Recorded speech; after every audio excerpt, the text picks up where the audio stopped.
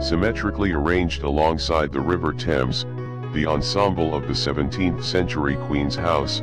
part of the last royal palace at Greenwich, the palatial Baroque complex of the Royal Hospital for Seamen,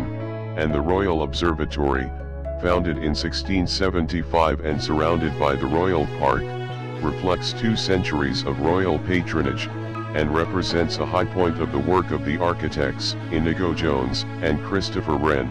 and more widely European architecture at an important stage in its evolution. It also symbolizes English artistic and scientific endeavor in the 17th and 18th centuries. The Royal Observatory's astronomical work, particularly of the scientist Robert Hooke, and John Flamsteed,